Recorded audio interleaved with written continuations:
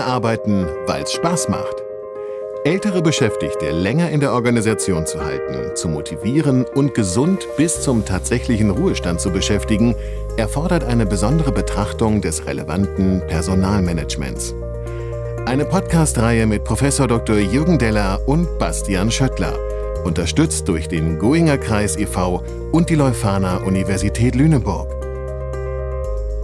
In diesem Podcast gehen wir der Frage nach, inwieweit sich Erkenntnisse aus dem LLWI auf andere Beschäftigte, also nicht die Älteren, übertragen lassen. Gast bei uns ist Florentina Fuchs, die ich bei einem Panel-Talk zu Diversität kennengelernt habe. Florentina, möchtest du dich vielleicht unseren ZuhörerInnen einmal kurz vorstellen? Gerne. Ähm, ja, ich bin Florentina Fuchs und äh, schön, dass wir uns bei äh, dem Panel Talk auch kennengelernt haben. Freue ich mich, äh, wo es unter anderem auch um das große Thema Diversität ging, wo wir auch im ja, Verlaufe des Podcasts auch darauf eingehen werden. Ja, ich äh, würde sagen, ich gehe so ein paar Schritte zurück, weil ich eigentlich aus der Welt des Sports komme, beziehungsweise des Leistungssports. Ich habe ganz, ganz lange Leichtathletik, Siebenkampf gemacht, was ich sagen würde, mich bis heute eigentlich begleitet, auch wenn ich heute keinen Sport mehr per se professionell mache, aber mich sehr viel aus der Welt nach wie vor begleitet, hatte dann äh, unter anderem auch verschiedenste Stationen ähm, bei IBM, bei der Deutschen Bank, bei Closed, ähm, wo ich immer wieder auch das Thema HR, HR-Strategie, Learning und Development begleitet habe, mitentwickelt habe, aufgebaut habe. Und ähm, ja, deswegen bin ich heute ähm, arbeite ich in einem ja sehr zukunftsweisenden und sehr zukunftsdenkenden Unternehmen und zwar Forever Day One. Das steckt schon im Namen. Ähm, wir sind eine Learning Design Company, die eben Unternehmen auf ihrem Weg zur lernenden Organisation begleiten. Ähm, da steckt viel dahinter, gehen wir sicherlich auch noch dazu äh, darauf ein. Und ähm, ja, deswegen ist Lernen für mich auch definitiv ein großer Part, wenn wir Diversität diskutieren. Deswegen freue ich mich, heute hier zu sein. Ja, ich danke dir erstmal für das Stichwort Diversität. Ähm, was war dein erster Berührungspunkt mit Diversität? Ja, gute Frage. Ähm, ich würde da auch tatsächlich wieder auf meine Sportkarriere zurückblicken, weil da, auch wenn man es vielleicht auf den ersten Blick gar nicht so denkt, Diversität eine riesengroße Rolle spielt. Ähm, natürlich ist, auch wenn ich eine Einzelsportart betrieben habe, ist man letztendlich immer Teil etwas Größeren, eines Teams. Ähm, und auch da kamen schon sehr unterschiedliche SportlerInnen zusammen ähm, aus unterschiedlichsten ähm, ja, Bereichen, ähm, aus unterschiedlichsten Ländern. Und so war ich eigentlich von früh auf immer mit sehr unterschiedlichen Charakteren auch zusammen auf dem Sportplatz. Und ich glaube, es ist nochmal ein Unterschied, ähm, weil man sich da sehr, sehr gut kennenlernt. Ähm, so man muss sich vertrauen im Team, ähm, wirklich blind vertrauen.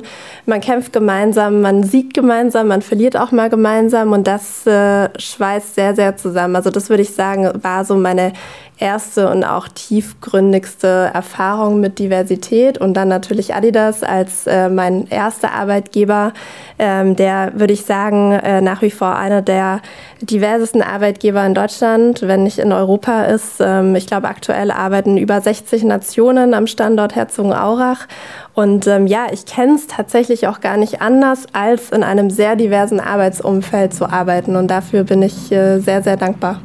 Ich finde das eine sehr spannende Konstellation heute mit Frau Fuchs hier ähm, am Mikrofon, weil wir auf eine andere Art und Weise auf das Thema Arbeit und Arbeitsrahmenbedingungen schauen können. Nämlich auf eine diversere Art und Weise. Wir haben ja bisher in der Podcast-Reihe eher über ältere Menschen gesprochen. Und wie, wie gestalten wir eigentlich Arbeit für ältere Menschen oder für alternde Menschen? Und vielleicht ist das Altern für uns schon, schon die Brücke, über die wir gehen können, weil niemand wird alt geboren, sondern wir werden alle jeden Tag einen Tag älter.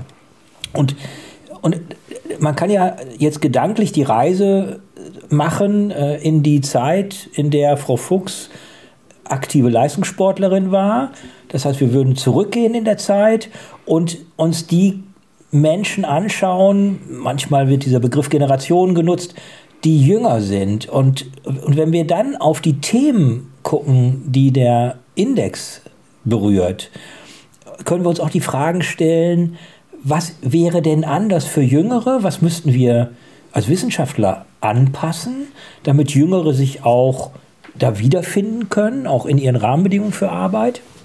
Und das fände ich wäre was Spannendes, was wir besprechen könnten, wo wir drauf gucken können und sagen, sind denn jüngere Menschen andere Menschen als ältere Menschen oder haben die vielleicht sogar was gemeinsam? Und da würde mich Ihre Perspektive sehr interessieren. Mhm. Also erstmal glaube ich, kann man sehr, sehr viel davon auch nicht pauschalisieren und sollte man auch nicht pauschalisieren, gerade wenn man viel über jung und alt spricht. Ich sage das auch immer in so Anführungszeichen, jung und alt. Ähm, gerade weil wir einfach in einem riesengroßen Wandel, wenn nicht vielleicht in einem größten Wandel, wo wir jemals waren, ähm, einfach stecken in dieser Arbeitswelt. Ähm, sprich, eigentlich wissen wir heute vielleicht ziemlich wenig darüber, was in zehn Jahren in dieser Arbeitswelt passiert, welche Rollen existieren, welche Skills existieren. Und das hat für mich gleichzeitig auch mit dem Thema Alter zu tun.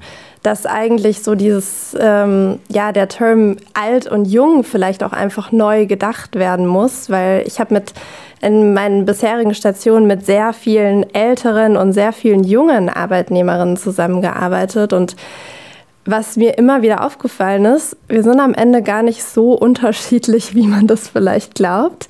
Ähm, aber gewisse Bedingungen müssen eben geschaffen werden und auch der Raum dafür. Und ich glaube, das ist schon mal so ein erster ja, Impuls, den ich auch gerne mitgeben möchte. Ich glaube, der Raum und der Kontext ist total wichtig, auch die jungen Menschen mit den älteren Menschen, also wenn ich es jetzt mal wieder in Anführungszeichen sage, auch aktiv zusammenzubringen.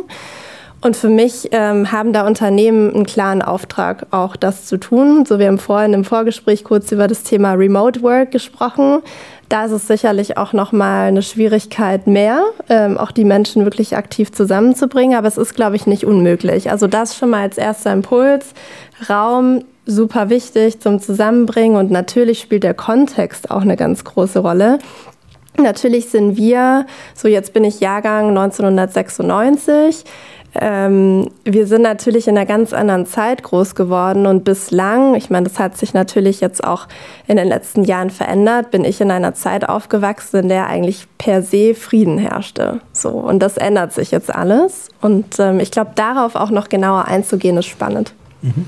Wenn, wenn wir auf das schauen, was Menschen erwarten von Arbeit, dann haben Sie gerade gesagt, da müssen wir auch auf diese Räume achten, in denen Jüngere unterwegs sind. Das haben wir in dem Index gar nicht getan. Mhm. Wir haben ja nur auf 50 plus geguckt. Wenn wir das jetzt mal übersetzen wollen, dann wäre 50 plus heute minus 50, also das wären so mit 70 Geborene, ne? so mhm. das wären die 50 plus Leute oder früher.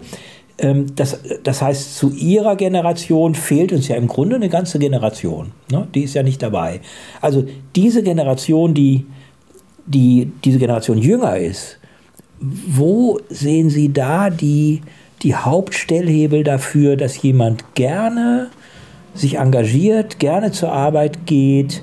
Was könnte das sein? Mhm. Es gibt ja sehr, sehr viele Artikel und Meinungen, gerade so zu dem Thema Gen Y und Gen Z. Ähm, ich finde, da muss man auch sehr aufpassen, weil es auch schnell in das Schubladendenken geht. Ich glaube, was einfach ein zentraler Punkt ist, und das höre ich irgendwie oftmals so als Satz, ihr lasst euch ja nichts mehr sagen. So, ihr seid irgendwie, ihr habt so eure Idee und zieht es durch. Und ich glaube, das ist was total Gutes, dass vielleicht sich einige nichts mehr sagen lassen im Sinne von, wir machen jetzt hier nicht alles, weil wir auch einfach Dinge vielleicht anders denken und schon anders erlebt haben und vielleicht auch einen anderen Blick dafür haben. Und ähm, eine zentrale These, die mir dazu auch einfällt, ist, wir wollen einfach einen echten Beitrag leisten. So, und äh, das muss ich jetzt aussprechen, das Wort, keine Bullshit-Arbeit mehr leisten, die vielleicht auch in gewisser Hinsicht irgendwie an der einen oder anderen Stelle nach wie vor geleistet wird. Und es wird halt einfach immer mehr in Frage gestellt. Also so dieses, dieser erste Punkt, einen echten Beitrag leisten, wirklich Teil des Teams zu sein, gehört zu werden, ähm, auch Vertrauen aufzubauen. Ich glaube, das ist ganz, ganz zentral. Also es sind nicht die extrinsischen Faktoren wie ein tolles Gehalt, ein Dienstwagen und so weiter. Ich hatte neulich äh, mal eine Diskussion über das Thema Dienstwagen und also das, das kommt bei mir gar nicht mehr vor, ehrlich gesagt, in der Wunschliste, nenne ich es jetzt mal, sondern wirklich diese weichen Faktoren. Ähm, und gleichzeitig, also für mich ist auch ein Riesenpunkt das Thema Verantwortung übernehmen. So, jetzt durfte ich schon in frühen Jahren sehr viel Verantwortung übernehmen in meinen ganzen Stationen bis heute Ähm, und das ist eigentlich, also nehme ich immer als sehr, sehr gewinnbringend für beide Parteien eigentlich wahr. Mir, mir fallen ein paar Fragen ein. Ähm, und die erste, die hängt so ein bisschen an dem, was Sie eigentlich nicht sagen wollten, aber dann doch gesagt haben. Nämlich, wer macht denn dann die Bullshit-Arbeit? Oder, oder ist Braucht's? das die falsche Frage? Braucht es die Bullshit-Arbeit und wer macht sie dann? Ja. Oder ist es nicht so, dass wir genau aufgrund dieser Frage ähm, darauf gestoßen werden, zu sagen, darüber nachzudenken, muss das eigentlich tatsächlich sein? Ja, oder wie teilen wir, wie, wie gestalten wir Arbeit überhaupt und teilen sie dann auf unter, unter den Teammitgliedern? Ja, und sind ältere Menschen dafür auch empfänglich? Weil du sagtest, dass das sozusagen eine Fragestellung war, ähm, so hatte ich das verstanden, unter jüngeren Menschen. Ähm, aber ist es nicht so, dass Ältere sich dann vielleicht auch plötzlich darüber Gedanken machen, muss ich das eigentlich tun? Ist es sinnvoll, das zu tun? Mache ich mir nicht vielleicht überhaupt Gedanken über eine Arbeit und bin nicht einfach irgendwann zu Mercedes gegangen, weil es schick war damals und bin da nie wieder weggegangen oder zu Opel oder zu Ford oder zu äh, wen auch immer. Ja. ja. Aber das hat Florentina ja gerade gesagt. Das war früher mal diese ja, ja. extrinsische Motivation. Die intrinsische ist ja eine ganz andere. Zu sagen, kann ich meinen Arbeitsplatz so gestalten, was wir beide ja auch schon mal besprochen hatten, ähm, Herr Professor und ich, dass äh, Arbeitsplätze so gestaltet werden, der Persönlichkeit des Menschen angepasst ja, zu werden. Und da ist eben jetzt dann die Frage, die Sie ja auch gerade so angedeutet haben, ist das, trifft das nicht für junge Menschen genauso zu wie für ähm, ältere Menschen? Also ich glaube, das Thema Arbeitsplatz und äh, du hattest jetzt schon das Wort gestalten benutzt, spielt eine extrem große Rolle. So jeder, also vielleicht nicht jeder und jeder, aber sehr, sehr viele, egal welchen Alters, haben ja das Bedürfnis zu gestalten. Und für mich bedeutet gestalten auch gleichzeitig gebraucht zu werden. So, ich glaube, dieses gebraucht werden und zu wissen, hey, ich habe hier wie meinen Platz und das ist richtig, ähm, ist auch keine Altersfrage. Im Gegenteil, weil wer gebraucht wird und weiß, hey, ich kann hier einen richtigen und echten Beitrag leisten, leistet meines Erachtens auch einfach die bessere Arbeit. So, und dann stellen wir uns vielleicht gar nicht mehr diese Bullshit-Frage. Mhm. Und diese Bullshit-Frage stellt für mich noch was ganz, ganz Grundlegenderes dar. Einfach eine ganz andere Frage, die wir uns heute stellen müssen. Wie definieren wir für uns eigentlich gute Arbeit? So und ich glaube, wir sind da noch sehr, sehr in den Anfängen. Wir sind da in Deutschland teilweise noch sehr konservativ, was das angeht. Und ich glaube, da ist noch ganz, ganz viel Luft, auch und natürlich auch dieser Raum, den genau diese Zusammenkunft zwischen Jüngeren und Älteren auch füllen können. Genau darauf auch Antworten zu geben, hey, wie wollen wir eigentlich in Zukunft arbeiten? Da, da haben wir beim, beim Later Life Workplace Index uns auch Gedanken zugemacht. Und wir haben zum Beispiel sowas definiert wie Work Design. Also wie gestalte ich Arbeit, welche Freiheitsgrade sind da drin. Also im Grunde Gestaltungspunkte, aber auch beim Führungsthema. So eine Führungskraft, was bedeutet das eigentlich? Wie viel Kommunikation ist denn da drin? Ähm, was, was heißt das für unseren Kontakt, den persönlichen, den wir haben? Haben wir den persönlich? Haben wir den remote? Wie oft haben wir den? Zu welchen Themen haben wir den? Ähm, und, und auch, ist das top-down oder kann es auch bottom-up sein? Also können wir, können beide Beteiligten sich, sich auch äußern? Ich, ich glaube, da wäre schon so sowas wie ein Rahmen, äh, den man ausfüllen kann. Und, und bei, dem, bei dem Thema äh, Wissenstransfer zum Beispiel, da haben wir ganz explizit gesagt, beide Partner in so einer Kommunikation, ob sie direkt von der aus der Ausbildung kommen oder von der Hochschule kommen oder ob sie schon 30, 40 45 Jahre im Beruf sind, beide haben spezifisches Wissen, das wir brauchen können, um die Aufgaben zu erledigen. Und das heißt, und das haben Sie vorhin auch schon gesagt, wir müssen zusammenkommen, ja, wir müssen miteinander reden, wir müssen aushandeln, wie wir ähm, umgehen mit den Aufgaben, die wir haben. Und das heißt, dass jeder und jede Kompetenzen, Fähigkeiten einbringen können in die Lösung von Aufgaben, wenn wir uns denn lassen. Genau, das ist das Thema, wenn wir uns lassen und wenn wir dafür auch bereit sind und die Voraussetzungen auch dafür schaffen. Ich glaube, es ist auf ganz vielen verschiedenen Metaebenen muss man das betrachten. Erstens, Unternehmen haben da meines Erachtens ein klares Mandat, ähm, das zu sehen, worüber wir jetzt gerade gesprochen haben und auch dementsprechend irgendwie die Infrastruktur, die Umgebung zu schaffen. Aber ich mag einfach diese Konsumentenhaltung nicht so gerne, das irgendwie zu sagen, ja, Unternehmen macht schon, ich gehe halt hin oder nicht, sondern im Gegenteil, ich finde, gerade in dieser jetzigen Phase hat jede und jeder einfach auch ein Mandat, in der Hinsicht einfach zu sagen, ja, wir probieren es aus, ja, wir machen es, ja, wir gehen diesen gemeinsamen Weg. Vielleicht ein kurzes Beispiel dazu. Ich war am Wochenende in einer Ausstellung in den Deichtorhallen hier in Hamburg. Und ähm, die Ausstellung ähm, heißt, die auch gerade noch läuft, How to Survive in the 21st Century.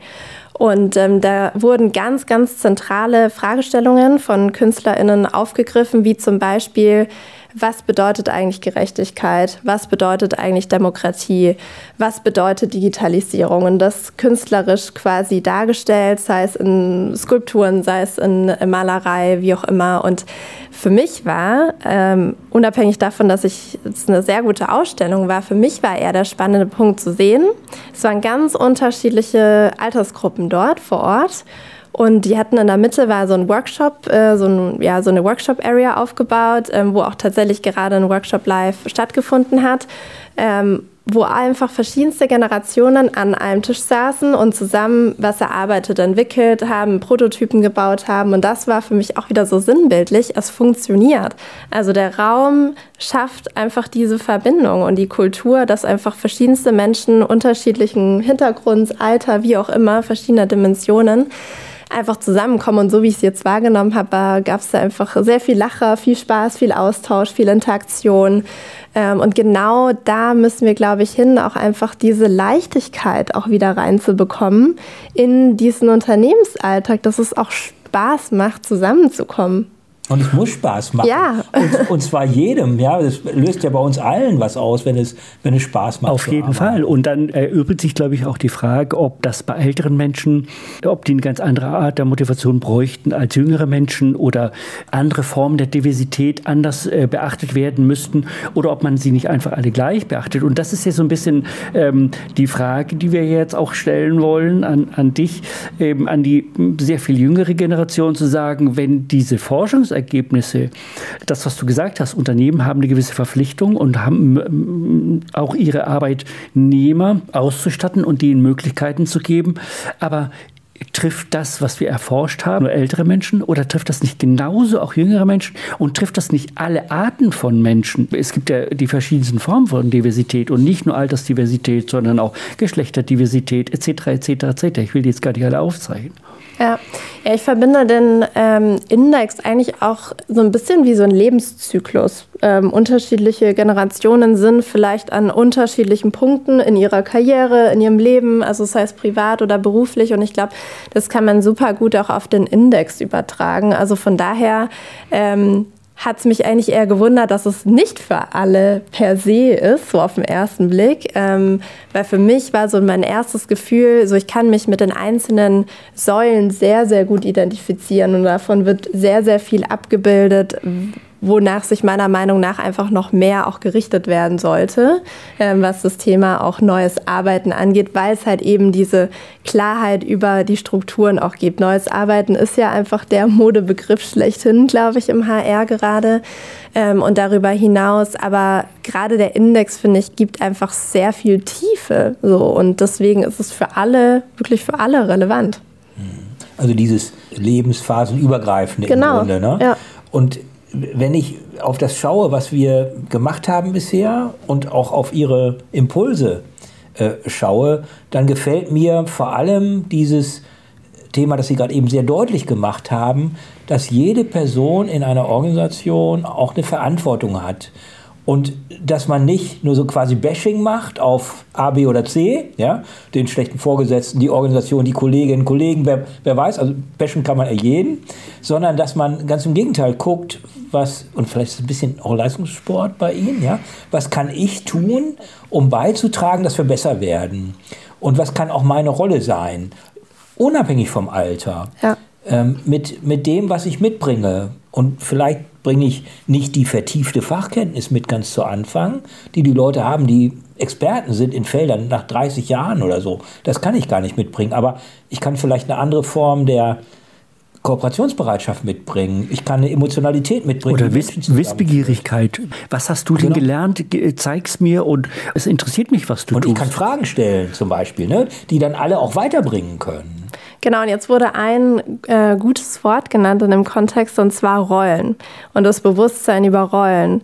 So, und ich glaube, dass teilweise dieses Bewusstsein auch noch gar nicht so da ist in den Organisationen. Und ich finde, das ist auch wieder keine Altersfrage des Rollenverständnisses. Im Gegenteil, ähm, so wie Sie schon gesagt haben, das Thema Wissenstransfer super wichtig. Und ich glaube, das einfach noch in den Köpfen auch zu verankern, wie wichtig es eigentlich auch ist, das Thema Wissenstransfer auch generationenübergreifend zu denken, weil anders funktioniert es nicht. Und wenn man äh, jetzt einfach mal auf 2030 und darüber hinaus blickt, wir werden eine Riesenlücke am Arbeitsmarkt haben, ob wir wollen oder nicht. So, wir sprechen über 5 Millionen ArbeitnehmerInnen, die fehlen werden auf dem deutschen Arbeitsmarkt bis 2030. Ja, jedes, jedes Jahr ungefähr genau. 500.000, ja, genau. Ja, ja, sprich, wir müssen diese Lücke irgendwie versuchen zu schließen, die sich gar nicht richtig schließen lässt. Aber ich glaube dennoch spielt dieses Rollenbewusstsein auch der ArbeitnehmerInnen eine Riesenrolle. So, hey, ich trage eine Verantwortung, auch in den nächsten Jahren schon heute auch Wissen weiterzugeben.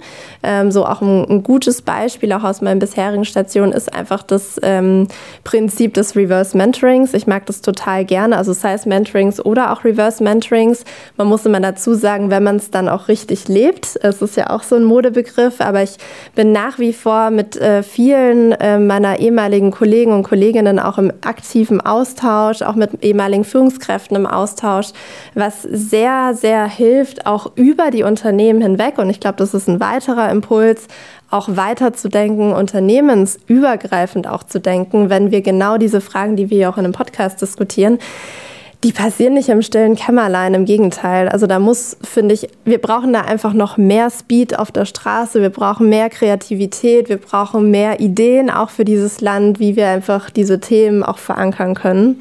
Wie, wie können wir das sicherstellen? Was können wir tun in Organisationen, damit das wirklich passiert? Ja, ich glaube, der erste Punkt klingt so simpel, aber sehr schwer, ist Ehrlichkeit. So ehrlich erstmal über Themen zu sprechen und Herausforderungen, die vielleicht noch nicht so klar sind. Ähm, und da ist eben das eine Thema auch Altersbashing es ist einfach so, ich, mir ist auch auf vielen meiner Stationen bislang ähm, vorgekommen, dass viele ältere Kolleginnen und Kollegen auch gesagt haben, hey Florentina, ich fühle mich auf dem Abstellgleis, obwohl ich eigentlich noch total Bock habe, was zu reißen.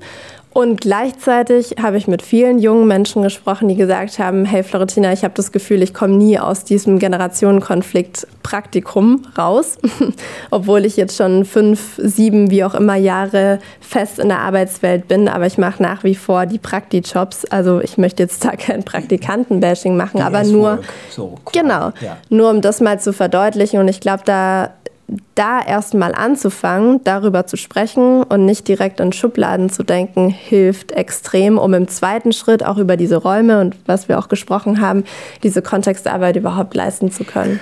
Aber was ich oft auch den Eindruck habe, ist, dass Unternehmen ganz gerne für sich allein wirtschaften. Jedes Unternehmen hat so seine eigene Burg und Feste und möchte eigentlich nicht, dass der Nachbar ihm ähm, über den Burggraben schaut und guckt, was er so tut. Äh, faktisch ist es doch aber so, dass sich, ähm, wie du ja auch äh, gerade sehr eindrücklich geschildert hast, die Arbeitswelt auch völlig verändert. Das heißt, ähm, natürlich habe ich meine eigene Unternehmensidee und natürlich habe ich mein eigenes Produkt, was ich rausbringe, aber das Arbeiten an sich ist ja doch fast bei allen gleich, mehr oder weniger, ja. Die würden sich mal gerne unterscheiden. Faktisch ist es ja aber nicht so. Ähm, sag mir, wenn ich äh, mich da irre. Und ich glaube, weil Sie, Herr Professor, gerade ja gefragt haben, wie können wir das ändern, dass wir einfach mal diese Burggräben einreißen müssen oder diese Burgmauern einreißen müssen und sagen müssen, ähm, ja, Ehrlichkeit ist natürlich völlig richtig. Also ich muss dann auch ehrlich nicht die Absicht haben, dein Patent dir klauen zu wollen, sondern einfach zu sagen, wie können wir zum Beispiel auch Menschen, die sich vielleicht an der einen Stelle gar nicht wohlfühlen, weil sie da eine falsche Aufgabe haben, aber vielleicht in einem anderen Unternehmen diese eine ganz andere Aufgabe erheblich besser ähm, übernehmen können. Ist, wäre das zum Beispiel was, um dahin zu kommen, zu sagen, diese, diese Mauern einzureißen und ähm, davon wegzukommen, alles meins, meins, meins? Ja, definitiv. Ähm, es ist sicherlich ein erster, also ich meine, es setzt natürlich schon sehr viel voraus, was, äh, wo wir natürlich erst die Voraussetzungen schaffen müssen dafür in Deutschland. Ähm, und das, also um das jetzt mal auf eine Ebene höher zu setzen, geht es ja ganz viel um Transparenz. Und wer irgendwie so diesen First Mover äh, Schritt wagt, quasi auch anders und neu zu denken. Natürlich sprechen wir auch immer aus dieser einen Wissensarbeitsperspektive. Also man muss auch einfach natürlich, wenn ich mich jetzt mal ne, branchenübergreifend ähm, und auch wir haben vorhin über äh, Non-Desk-Mitarbeitende gesprochen, ähm, so da ist natürlich auch noch mal, sind auch noch mal andere Voraussetzungen gegeben. Das muss man auch immer einordnen. Aber sicherlich wäre das ein sehr, sehr guter erster Weg und es wie du gesagt hast, letztendlich, und das merke ich sehr auch in den Unternehmen, wo wir eben beraten als, als Forever Day One, die Unternehmen kämpfen mit den ähnlichen Herausforderungen, egal ob es kleinere oder größere Unternehmen sind. So und das ist gleichzeitig, glaube ich, auch eine große Chance, die wir auch nutzen können, ähm, gerade in den Themen, die, die du auch angesprochen hast, ja. Und, und oft, oft, das ist ein bisschen aus meiner praktischen Erfahrung auch als Personaler, ähm, gibt so dieses Not Invented Here Syndrome. Ja? Also, wenn wir das nicht entwickelt haben, dann kann es auf uns nicht zutreffen. Dabei, wenn man von außen guckt, und wir gucken ja auch auf viele, so wie Sie ja auch als Berater, gucken ja auf viele verschiedene Organisationen. Und mein Eindruck ist immer, zu 90 Prozent sind die gleich, vielleicht sogar mehr als das, ja. Und, ähm, und was können die voneinander lernen? Ähm, Im Index nutzen wir das, indem wir Normgruppen aufbauen. Mhm. Also wir, wir gucken uns Unternehmen aus verschiedenen Branchen an und können dann einem Unternehmen sagen oder einer Organisation sagen, es ist breiter, sind auch öffentliche dabei, ähm, da wo ihr steht, sind die anderen 20, die wir auch noch haben in der Datenbank, ähm, da sind die besser auf der Dimension, aber schlechter auf einer anderen. Da seid ihr gut. Ja? Und da könnt ihr vielleicht auch was lernen von dem einen und jemand anderes kann von euch was lernen, um, um das auch ein Stück zu unterstützen. Äh, zu sagen, hier, hey, äh, da sind Ideen, das sind nicht nur Ideen, die sind auch umgesetzt. Und da, bei der Umsetzung waren die Herausforderungen dabei, da muss man besonders darauf achten. Äh, und, und so können Unternehmen auch oder Organisationen, breiter nochmal gesagt, äh, voneinander wirklich lernen und auch und gemeinsam, den Mehrwert sehen. Ja, den ja. Mehrwert sehen, ja. Äh, das, was andere auch getan haben, ja. ohne dass man jetzt gleich über die Geschäftsgeheimnisse redet. Ja? Das ist genau. mehr die Organisationsform. Genau, und das steht für mich eigentlich darüber. So, letztendlich haben wir ähnliche Geschäftsmodelle, ähnliche Organisationsmodelle und warum das Wissen einfach auch nicht nutzen. Ähm, so, und jetzt hatten wir kurz das Thema Mehrwert angesprochen. So, und ich glaube, um da auch wieder so den Bogen auch zum Thema Diversität zu spannen, letztendlich ist einfach Diversität ein Treiber des Unternehmenserfolges. So. Und ich glaube, das ist einfach noch wichtig, auch in den Köpfen zu verankern, dass einfach Diversität und da auch nochmal auf Forever Day One auch zu sprechen zu kommen, so wir haben einfach erkannt, dass eben auch Diversität ist ein Schlüssel auf dem Weg zur lernenden Organisation. So wir haben vorhin über veränderte Rollen, über veränderte Fähigkeiten gesprochen, die in den nächsten Jahren einfach noch zunehmen werden. So und unter anderem, jetzt haben wir viel über Altersdiversität gesprochen, ähm, einfach verschiedene Generationen zusammenzubringen, ist meines Erachtens auch DNA einer gut funktionierenden, lernenden Organisation. So, und da sollten wir meines Erachtens auch noch mehr Fokus drauf legen, so warum ist Diversität eigentlich wirklich so wichtig, ohne und, sich direkt in der Tiefe zu vergraben. Und wie gestalten wir sie dann auch? Also ich finde, Diversität an, an und für sich ist ja auch was, was man gestalten kann. Wir haben ein Forschungsprojekt gemacht zu sogenannten Diversity Fault Lines. Also wie, wie kann ich Diversität äh, vorfinden in der Organisation und es funktioniert nicht, trotzdem nicht. Ja? Weil zum Beispiel die eine Funktion im Unternehmen aus einer ganz anderen Welt kommt, also 20 Jahre früher oder später ausgebildet worden ist als die andere. Und, und wenn das dann auch noch alles Männer und Frauen sind, die auch nicht gemischt sind, also alte Männer, junge Frauen, oder junge Männer, alte Frauen und, und das auch noch in den Funktionen, dann habe ich gar keine Durchmischung, sondern dann habe ich eher was, was, was, was sehr stabil ist. Ja? Und das will ich eigentlich gar nicht. Das brauche ich auch nicht, weil ich brauche immer wieder neue Ideen und die Funktionen müssen sich ja auch wieder, wieder neu, ähm, neu finden und neu durchmischen. Und wir haben junge und ältere zusammen und wir haben Männer und Frauen zusammen oder andere Geschlechter. Ähm, also mischen die, damit es überhaupt zu diesem ja. äh, gestalteten Informationsaustausch kommen kann, den wir brauchen. Auch für das, haben Sie gerade eben gesagt, für dieses Nachwachsen. Ja? Wen, wen rekrutieren wir denn? In welchen Altersgruppen, für welche Funktionen ja. in der Organisation? Auch das kann ja einem Plan folgen. Und Absolut. aus meiner Sicht sollte es auch einem Plan folgen. Und wen bauen wir auch langfristig auf? So, das ist, glaube ich, auch wichtig. Ähm, vielleicht ein ganz persönliches Beispiel. Auch meine ähm, Mutter und ich haben beide festgestellt, also ich glaube, unterschiedlicher kann es in der Führungslaufbahn per se nicht sein, weil meine Mama relativ spät ähm, Führungskraft wurde, weil sie sich damals, ich meine, es waren leider noch keine Zeiten, wo Kind und Karriere gut vereinbar ähm, war. Ähm, meine Mama hat sich für das Kind entschieden und nicht äh, für die Führungslaufbahn und hat dann aber später, als ich dann älter wurde, dann doch die Führungslaufbahn eingeschlagen und wir haben beide festgestellt, so wir sind in ganz unterschiedlichen ähm, ja, Welten aufgewachsen, was das Thema Führung eigentlich bedeutet. So jetzt bin ich irgendwie sehr früh Führungskraft geworden, ähm, habe vielleicht auch mit der einen oder anderen Herausforderung zu kämpfen, aber es ist total interessant, dass sich die Herausforderungen sind sich also die ähneln sich total, egal ob es eine Führungskraft ist, die jetzt 60 ist oder in meinem Alter ist. Und ich glaube, das ist auch spannend wieder, weil wir über sehr viel über Unterschiede sprechen, aber gleichzeitig eben auch trotzdem so viele Gemeinsamkeiten da sind, ähm, was sehr, sehr interessant ist. Die ja. aus der Rolle auch kommen. Die aus, aus der Rolle kommen, genau. Der, ja. der Rolle, ich muss einfach koordinieren, ich muss Leute anleiten, ich muss auch mal nachhaken, ich muss mich kümmern, muss mal nachfragen, wie geht's dir, äh, um, um so das Ziel auch zu erreichen.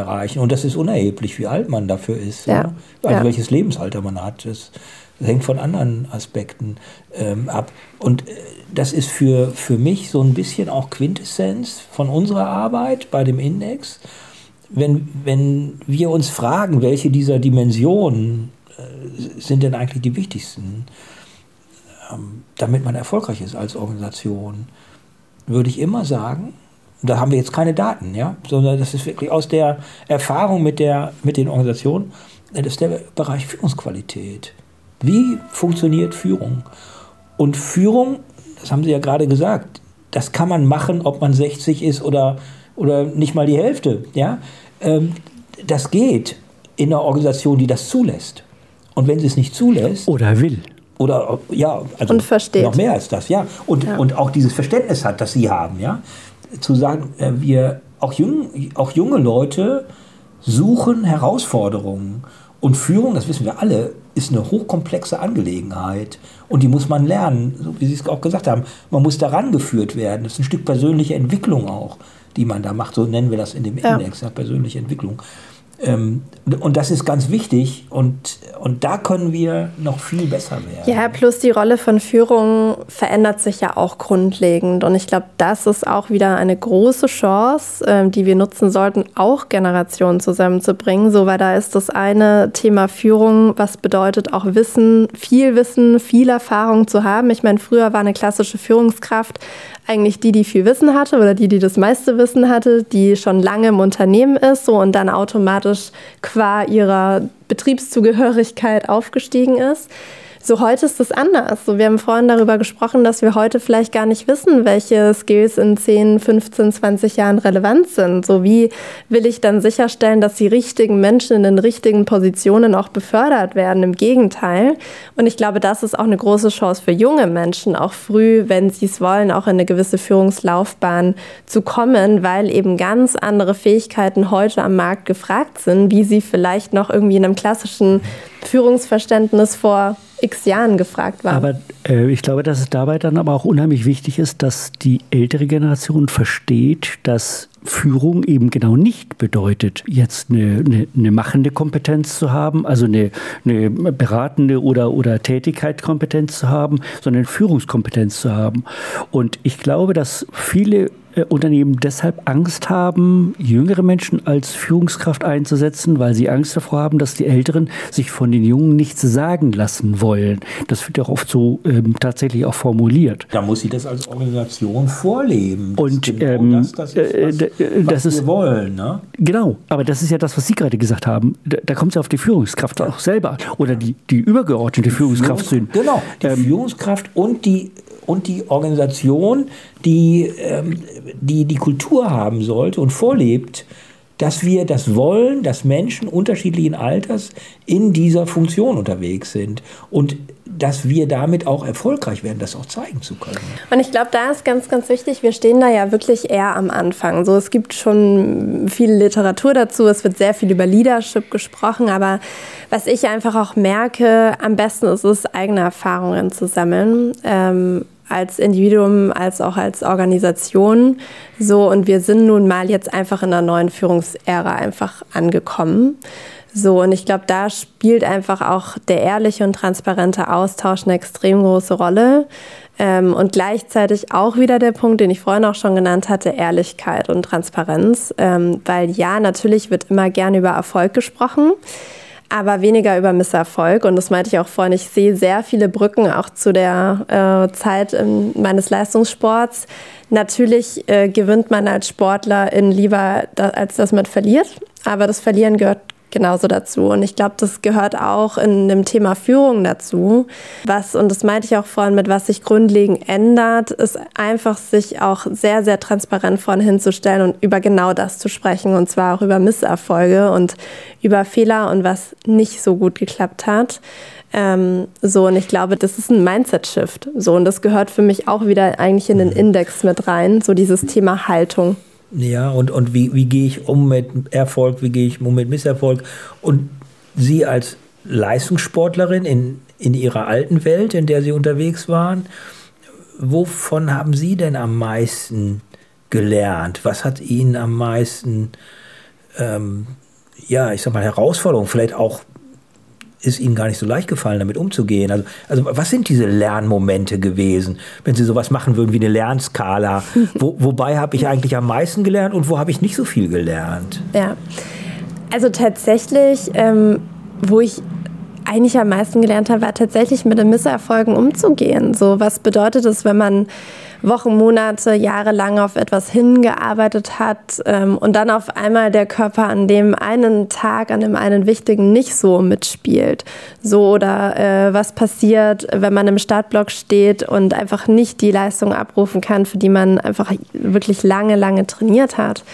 Ähm, so und gleichzeitig ähm, ist der zweite Punkt, glaube ich, wo ich am meisten draus ziehen konnte, es niemals aufzugeben und auch das Gute am Ende irgendwie zu sehen ähm, und dran zu bleiben und auch über Grenzen hinweg zu gehen. Ähm, und ich glaube, das ist auch ein zentraler Punkt hier in Deutschland. Ich habe jetzt in den letzten Wochen einige Zeit in China verbracht. Ich war in Shanghai unterwegs und was ich da gemerkt habe, ist einfach, wir müssen einfach wieder mutiger werden und wir müssen einfach wieder irgendwie leichter werden im Sinne von auch positiv in die Zukunft zu schauen so und das auch nochmal mit der Brücke auch Richtung Leistungssport ähm, zu bauen so dieses Thema Zukunftsoptimismus habe ich sehr, sehr stark durch den Leistungssport gelernt. Also was es auch wirklich bedeutet, eine Niederlage auch als Erfolg zu werten und auch aus einer Niederlage einen Erfolg zu machen. So also dieses Ich bin nah dran, genau. aber ich bin nicht da, wo ich sein wollte. Ja so zu bewerten, dass ich mir sage, ich bin fast da, ich habe es fast geschafft. Das ja. ist schon mal super. Also im, im, Vergleich auch zu anderen, die nach Und genieße auch den Prozess dahin, ja. weil es ja. ist auch ein Lernprozess, genau. Und, und das gibt mir nochmal den Schub, auch den letzten Schritt zu genau. Ja. Aber die Parallele wäre ja dann, jetzt auf die Organisation betrachtet, zu sagen, okay, wir hatten an einer Stelle vielleicht nicht das Ziel erreicht, das wir uns erwünscht haben. Was hat denn gefehlt? Um dann zu der Erkenntnis zu kommen, äh, müssen wir die Mitarbeiter anders ausbilden? Müssen wir vielleicht Mitarbeiter anders zusammensetzen? Müssten wir ihnen andere Möglichkeiten geben, sich selbst einzubringen, damit sie mehr Erfolg haben, mehr intrinsisch motiviert sein, etc. etc. Ist das so zu sehen? Ja, und jetzt wird es interessant. Äh, du hattest jetzt einen Begriff genannt, einbinden. So, und ich glaube, ich habe vorhin über die Konsumentenhaltung gesprochen.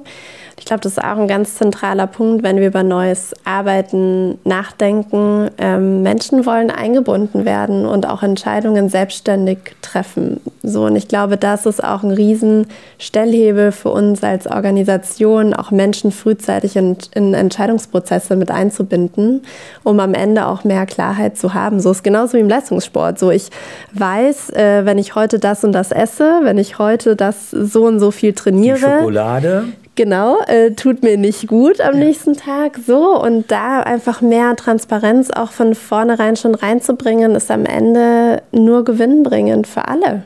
Mhm. Also auch, auch deutlich zu sagen, Sie jetzt als Führungskraft, wenn wir jetzt den Transfer machen ähm, in, in die Organisation, ich möchte gerne, dass du mitentscheidest das ist auch meine Erwartung an dich. Ich will dich auch stärken, dass du das kannst, wenn du es dir nicht zutraust.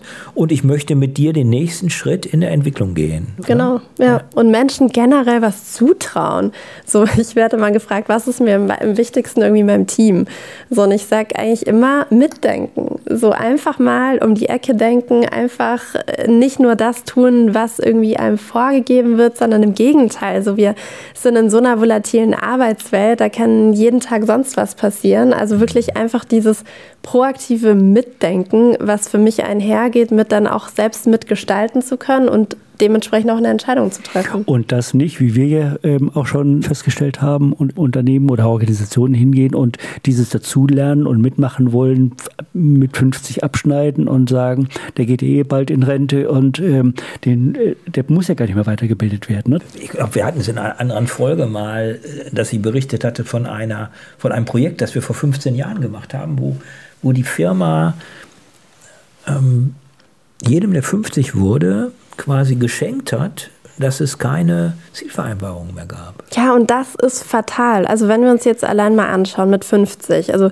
so als meine Eltern 50 waren, waren sie für mich eh und sie sind nach wie vor für mich jung geblieben, weil sie sind beide super digital affin, stehen total im Leben, haben beide einen tollen Job, machen das total gerne und arbeiten bis mindestens 67. So, und das ist gesetzt, so, ob man dann früher oder rausgeht, wie auch immer. Aber darüber hinaus, ich lerne so viele Menschen mittlerweile kennen in dem Alter, die sagen, wir haben richtig Bock zu arbeiten. Und ich kann mir total vor gut vorstellen, nach 67 immer wieder punktuell auch zurückzukommen, weil ich es gerne mache. So, und das, da sollten wir doch hinkommen. Jetzt komme ich wieder zurück auf das Makroumfeld Richtung, uns fehlen über 5 Millionen ArbeitnehmerInnen in nicht mal ja, zehn Jahren. Ja, und auf dem Weg dahin ja auch schon drei wir, oder vier. Genau, ja? verlieren wir ja, noch welche. Ja. So, und das ist ja total konträr, dann solche Angebote nach wie vor zu machen. So. Ja, jetzt wird es politisch natürlich. Ne? jetzt können wir ja gucken, wie machen wir das. Unser Eindruck ist, wenn wir Arbeit attraktiv gestalten, das ist ganz wichtig, die attraktiv zu gestalten für die Menschen, für jeden Menschen. Und auch für jede Generation von auch Menschen. Auch für jede Generation für von Menschen. Menschen. Ja, für alle Menschen. Ja, da, und unser Ansatzpunkt waren die Älteren, aber im Grunde, und das haben wir heute besprochen, im Grunde geht es um jeden Menschen, egal welchen Alters, egal welche Orientierung in einer Organisation. Es ist wichtig, dass wir mit jeder Person, das, vor allem die Führungskräfte, die das umsetzen, diese Gespräche führen. Wo willst du hin? Wo sehen wir dich? Wie helfen wir dir dabei? Wie kannst du da hinkommen? Was sind unsere Pläne auch mit dir? Ähm, was kannst du von uns erwarten? Worauf kannst du zählen und wo kannst du uns auch challengen? Ja, wo kannst du dann auf uns zukommen und sagen, wir haben das besprochen, jetzt muss das auch passieren. Ja? Und, und so eine intensive Arbeit ist eine anstrengende Führungsarbeit. Auf jeden Fall. Man muss sich ja. auf jede Person einstellen. Es braucht Zeit. Absolut. Und es braucht auch Zutrauen und, und Transparenz. Also genau die Punkte, die wir angesprochen haben heute, die Sie angesprochen haben. Ähm, und und das über alle Generationen hinweg, das wird uns auf der jüngeren Seite helfen, weil wir dann attraktiver werden als Arbeitgeber in der Organisation. Und es wird uns auch da oben helfen in, der, in dem oberen Teil der Altersverteilung, wo diese vielen, diese großen Generationen auf einmal aus dem Arbeitsmarkt rausgehen und nur Generationen nachkommen, die halb so stark sind. Aber von den großen Generationen wollen auch noch Leute unterschiedlich also wir wissen es von ungefähr der Hälfte, die weitermachen will, wenn man die Leute kurz vor Rentenalter fragt. Vor allem die, die interessante Jobs haben. Und wenn wir Jobs interessant machen können, dann können wir auch Leute länger halten. Und das ist wirklich einer der Schlüssel über Diversität und über Neuland. Das ist ja Neuland für viele Organisationen. Ähm, und da kann ich nur sagen, Mut zum Neuen, ja. Probiert es aus, über Diversität, hier Altersdiversität, Leute länger zu halten, um länger auch als Organisation leistungsfähig zu bleiben und überhaupt existieren zu können für manche auch. Ja. Absolut. Also ich bin da absolut bei Ihnen und ich fasse es für mich auch nach wie vor und immer noch zusammen. Wir müssen einfach ehrlich zueinander sein. So vieles ist vielleicht auch gar nicht so schlimm, wie es aktuell dargestellt wird. Es gibt meines Erachtens mehr Gemeinsamkeiten als Unterschiede. Und Diversität ist einfach, wenn Diversität einfach wirklich transparent, ehrlich diskutiert wird, ein absoluter Schlüssel und Treiber von Innovation, um genau dieses Neuland, von dem Sie auch gesprochen haben, zu betreten. Und dafür braucht es einfach Mut, Leichtigkeit, auch mal wieder ein bisschen Spaß und Freude ähm, und vielleicht dieses unternehmensübergreifende Denken, worüber wir auch vorhin gesprochen haben. Darf man daraus interpretieren, dass Unternehmen, die genau das, was du jetzt gerade angesprochen hast, was wir so die letzten paar Minuten diskutiert haben, wenn die das nicht beachten, dass sie dann schneller vom Markt äh, weg sind und auch schneller ihre Mitarbeiter verlieren an die Unternehmen, die sich um solche Fragen kümmern und äh, auch dafür sorgen, transparent zu sein, Mitarbeiter zu motivieren, intrinsisch zu motivieren, sie ähm, ranzuholen, neue Formen der Arbeitswelt ähm, zu schaffen. Das heißt, die Konkurrenz ist gar nicht mehr das Produkt, sondern die Konkurrenz ist, wie stelle ich mich als Unternehmen gegenüber meinen Mitarbeitern auf? Definitiv. Also das sollte es eigentlich schon lange sein. Ich glaube, das rückt immer mehr und mehr in den Vordergrund. Ähm, aber definitiv, also die Antwort ist ganz klar ja. Ja, dann, dann kommen wir ja wieder zu der Antwort ähm, auf die Frage, die Herr Professor Dalle gestellt hat. Ähm, was müssen denn Organisationen tun?